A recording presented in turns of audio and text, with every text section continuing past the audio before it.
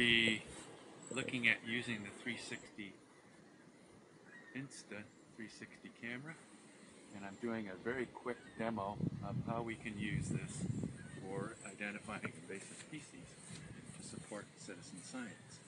And hopefully this is going to work.